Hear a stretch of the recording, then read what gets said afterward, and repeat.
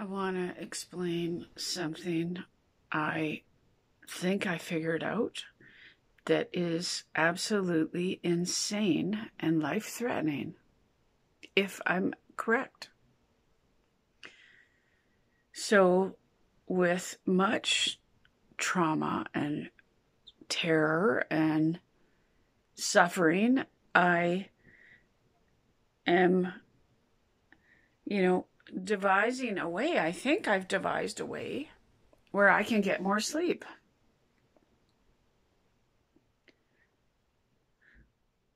Where I can open up my jaw so that I'm not closing up as much or as often so that my air isn't being cut off.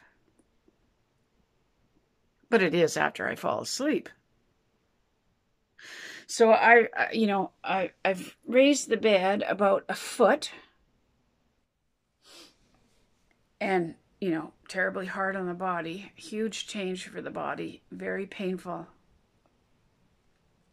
And made a splint for my mouth to try to keep that jaw open a little bit. And I'm I'm beginning to drift off. I'm beginning to drift into sleep.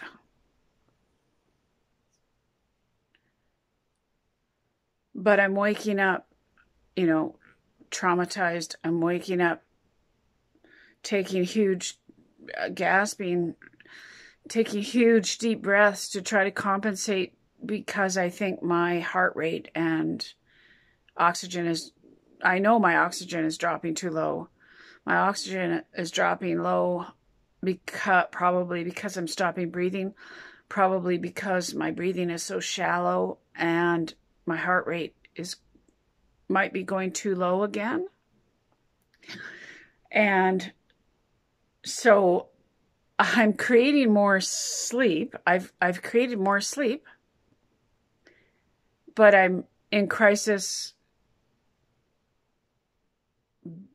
because of what's happening to me when I'm asleep.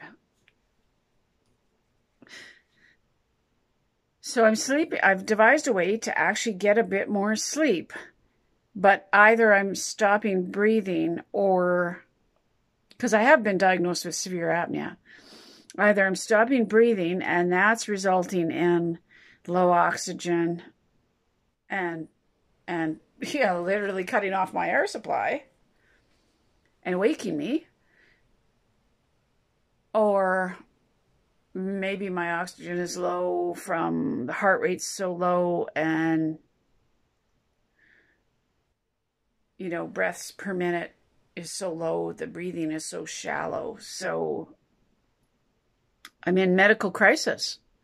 I was i was in medical crisis from sleeping so little. Now i've devised a way to sleep a little bit more. My brain's trying to adjust to the huge changes.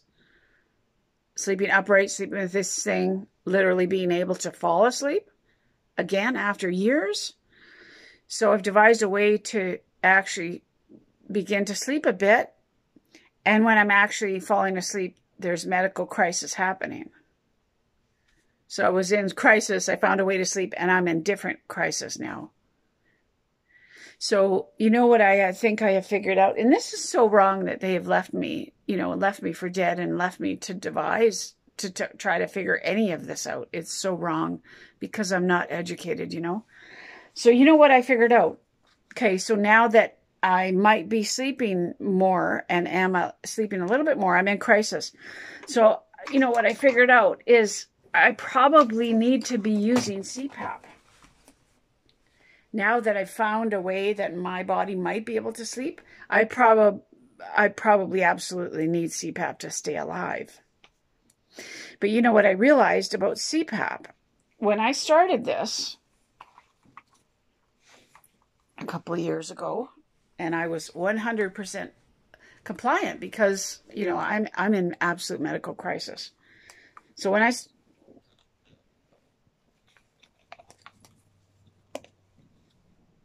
So when I started this, I was mouth breathing or my mouth was lax.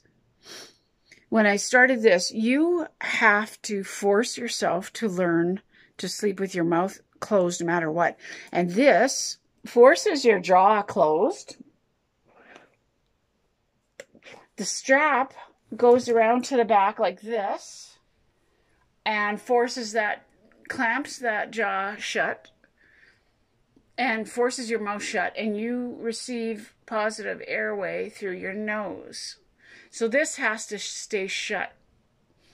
And you know what I realized is that pushes my jaw back, which collapses the tongue, which literally prevents me from sleeping. So wearing CPAP, whether it's this or a nasal mask, if you're wearing a nasal mask, you have to wear a strap to literally clamp that jaw shut so that all your air is coming through the nose. So with CPAP, my jaw is being forced shut. And with my jaw being forced shut, when I fall asleep, it relaxes, falls back, taking the tongue back, and my airways closing up. So, what I realized just this moment is the you know, two and a half years of 100% compliant with this godforsaken machine literally was making my apnea worse because it's it's ramming my jaw back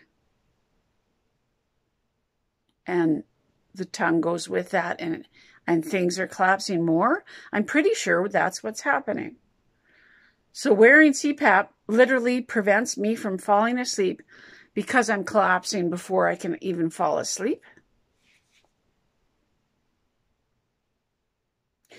So now that I've devised a way to sleep a bit more without CPAP, propped up, opening my jaw a little bit, I'm finally reaching deep sleep. But I'm stopping breathing because I'm collapsing back, presumably the jaw relaxes. And last night, I fell asleep just dead tired. Woke up 25 minutes later, just because I'm stopping breathing, I think. And then it took me a couple hours to fall asleep. Slept again for less than an hour.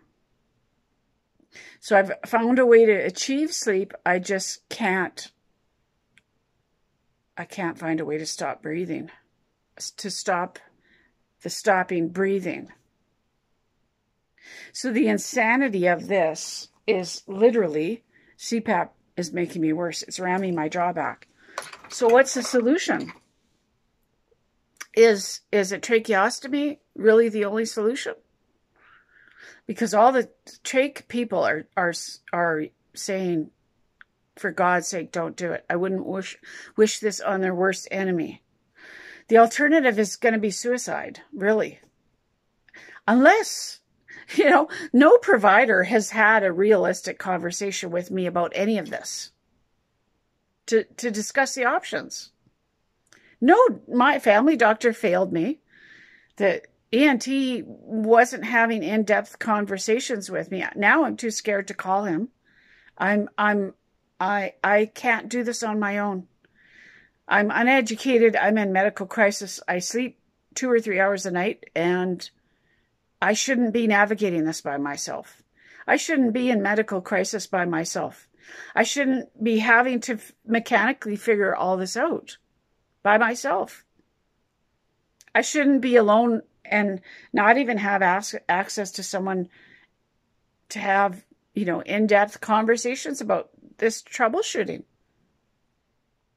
I think CPAP literally made me in a worse state of medical crisis because it was making the apnea worse. It was closing off my airways even worse. So now that I've found a way to fall asleep,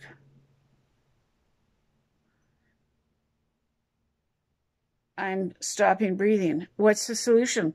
CPAP isn't because it'll ram my jaw back. It'll keep my jaw back. It'll keep the tongue closing up. So what's what's the other option? I have to move this jaw forward, maybe. And you know what? There might be solutions. There might be other solutions. It's just I don't have medical care.